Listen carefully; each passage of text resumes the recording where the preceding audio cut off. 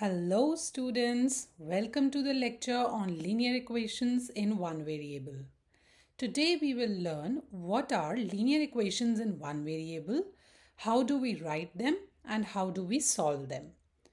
But before we dive into that, let me ask you a few questions. Have you ever wondered how much money you need to buy a certain number of chocolates? Or how many hours you need to study to score a certain percentage in a test? These are all examples of situations where you need to find the value of an unknown quantity.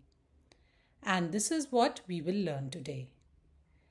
But before learning how to solve a linear equation in one variable, we will first learn about what are variables, constants, algebraic terms, algebraic expressions, and algebraic equations. With the help of a simple example, let us first understand what are variables and constants. Suppose you want to buy X number of chocolates and each chocolate costs 10 rupees. Then the total amount of money you need to buy X chocolates will be 10 times X or simply 10x rupees. Here, x is a variable which means it can take any value depending upon how many chocolates you wish to buy. And 10 is a constant which means that it does not change its value. So remember this. Variable changes its value but constant never changes its value. Now, what is a term? A multiplication of constants and variables is called an algebraic term. For example, in the previous example, 10x was an algebraic term.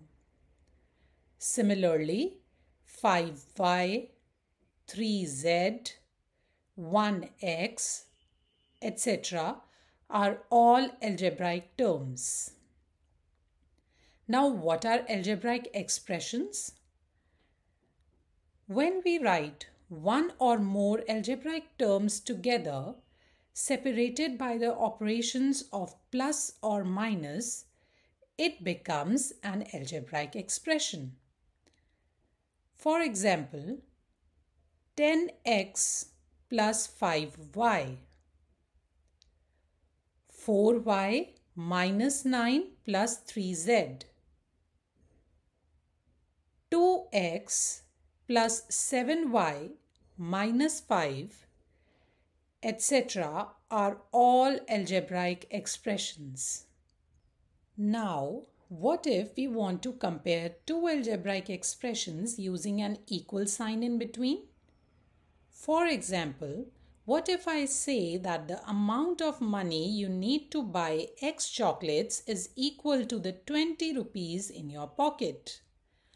Then we can very easily write down that 10x is equal to 20. Here, 10x is the algebraic expression on the left side of the equal sign and 20 is the algebraic expression on the right side of the equal sign. This as a whole is an equation. Now let's come to the name of the chapter. What is a linear equation in one variable? A linear equation in one variable is a special type of equation that has following features. As the name suggests, it has only one single variable usually denoted by x, y or z. Now, what does linear mean? It means that the variable has power of 1, which means it is not raised to any other exponent like 2, 3, etc. For example, x minus 7 is equal to 3 is a linear equation, but x square minus 7 is equal to 3 is not a linear equation because here x is raised to the power of 2. Now let's come to the fun part. How to solve a linear equation in one variable. The main goal of solving a linear equation in one variable is to find the value of variable that makes the left hand side, that is, the LHS of the equation, equal to the right hand side, that is, RHS of the equation. For example, if we have the equation 10x plus 5 is equal to 25, we want to find the value of x such that LHS, that is 10x plus 5, becomes equal to the RHS, that is 25. Now, let's learn how to solve this. First of all, we know that in an equation, the LHS is always equal to the RHS. So, whatever operation it be, plus, minus, multiplication or division, we do on the LHS, we have to do the exact same on the other side. Let's look at the example. 10x plus 5 is equal to 25. Now here we need to find the value of x. How do we find it? Well, we will have to remove the numbers that are with the x on the LHS in this equation. 10 and 5 are there on the LHS with x. Let's first try to remove 5. And how do we remove it?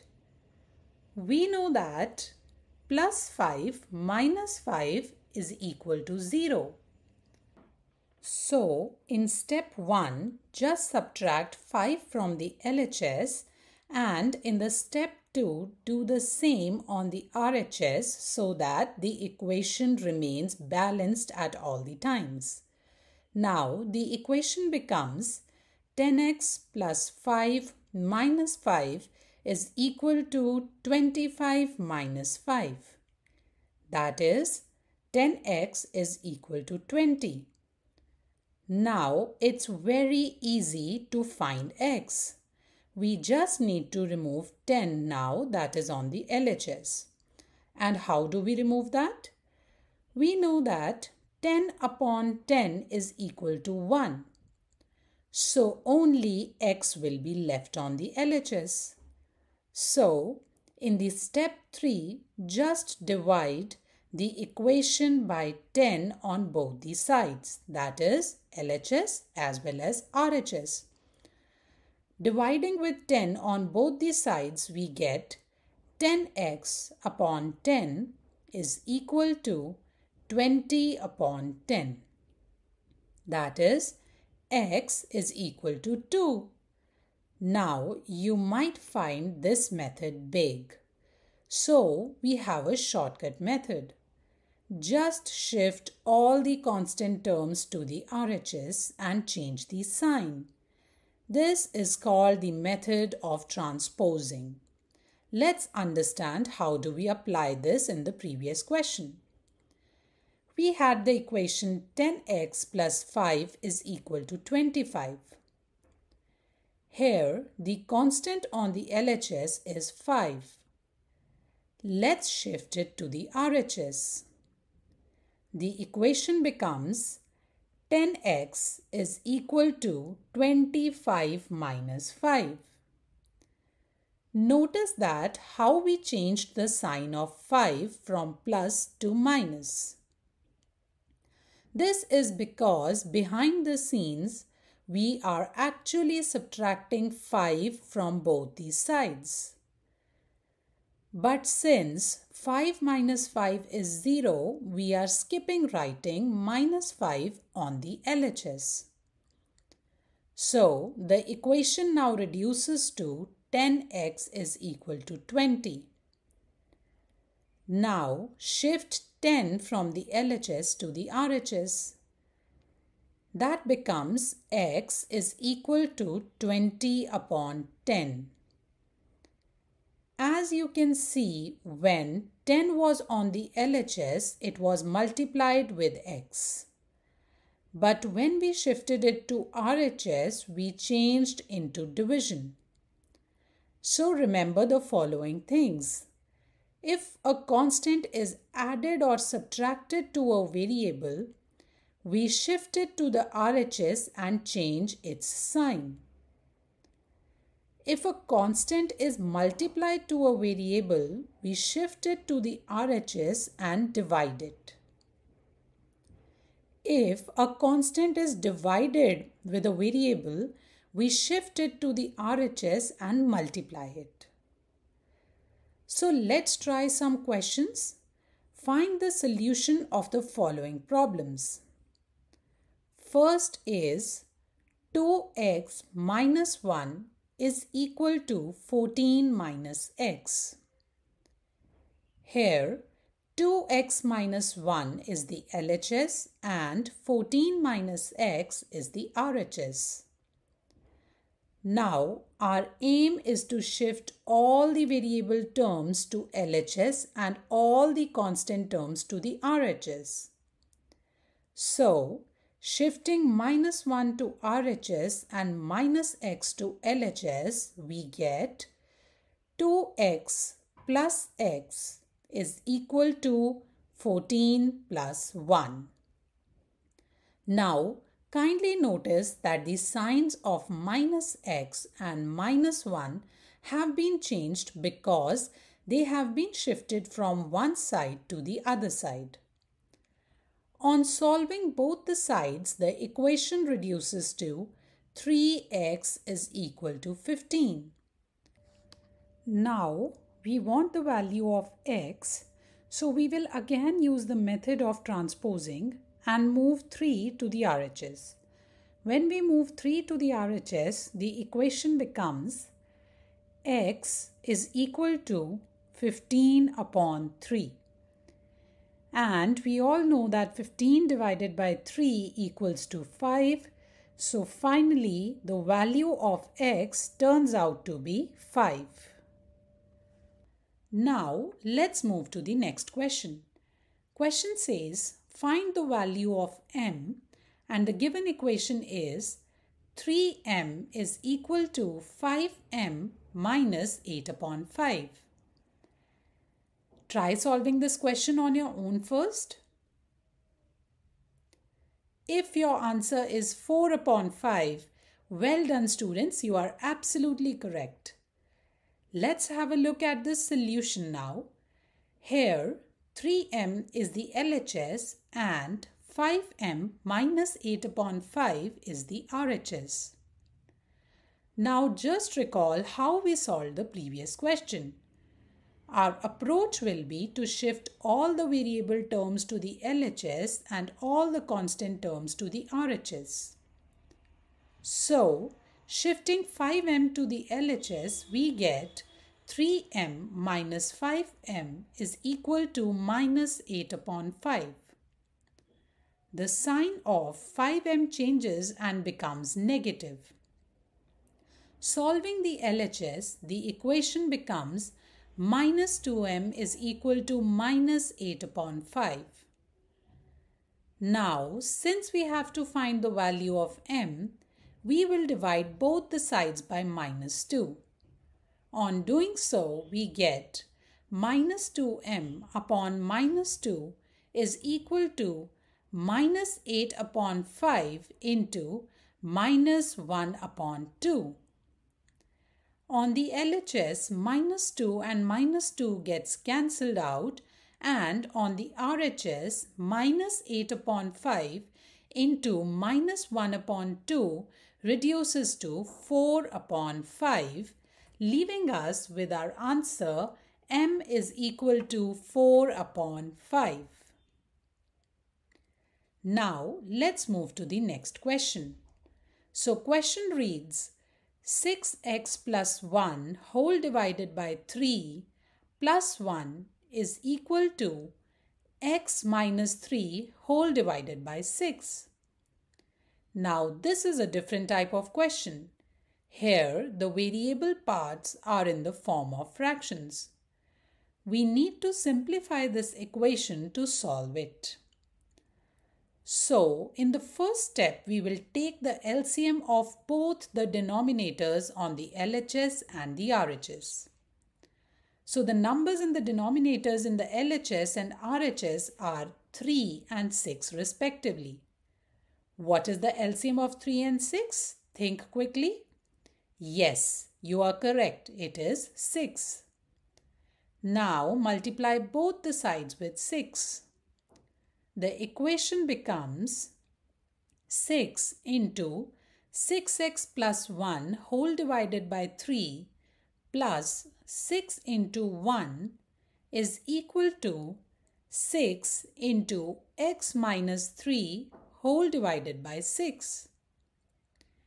Here, the LHS is equal to 6 into 6x plus 1 whole divided by 3 plus 6 into 1. Now 6 divided by 3 is 2 so the LHS becomes 2 times 6x plus 1 plus 6. That is 12x plus 2 plus 6. Solving this, we get our LHS is equal to 12x plus 8. Now let's look at the RHS. 6 divided by 6 is 1. So the RHS simply becomes x minus 3. Now because this is an equation, so LHS must be equal to the RHS. Therefore, we can write down that 12x plus 8 is equal to x minus 3. Now we have simplified it. Just apply the methods we used previously to solve the questions. Shift all the variable terms to the LHS and all the constant terms to the RHS. The equation becomes 12x minus x is equal to minus 3 minus 8. Solving both the sides we get 11x is equal to minus 11. Now, we just need the value of x, so we divide both the sides by 11. This becomes 11x upon 11 is equal to minus 11 upon 11. 11 divided by 11 is 1, so x becomes equal to minus 1. So you saw how easily we could solve this question. Now with this we have come to the end of this video and we learned some interesting ways to solve a linear equation in one variable. We hope that you have understood the concept of linear equations in one variable now, here's a secret on how you can study effectively with the EduRev app. You can learn with chapter notes, watch video lectures and solve NCERT based MCQ tests of all this chapter on EduRev. And that's not all. You also get amazing courses for class 11th and much more for your class 11th preparation. Thank you.